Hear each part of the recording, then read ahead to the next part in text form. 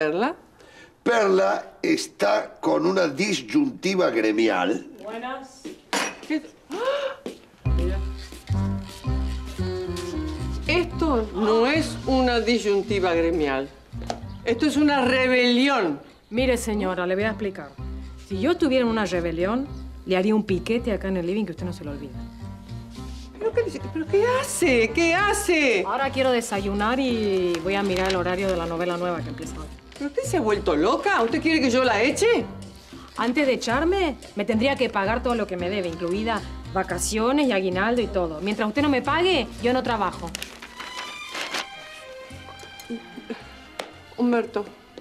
Humberto, ¿qué, qué, qué, qué hacemos? Eso, Humberto. ¿Qué hacemos? ¿Servimos o no servimos?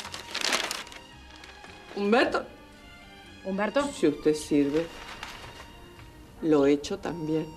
Señora, yo no le puedo negar a nadie una taza de café con leche. Perdón, esto es una barbaridad, esto es una atrocidad.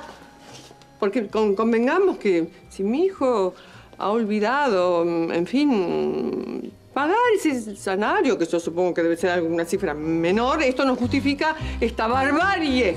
Y usted, le digo, ¿eh? va a tener repercusiones. Mi jugo.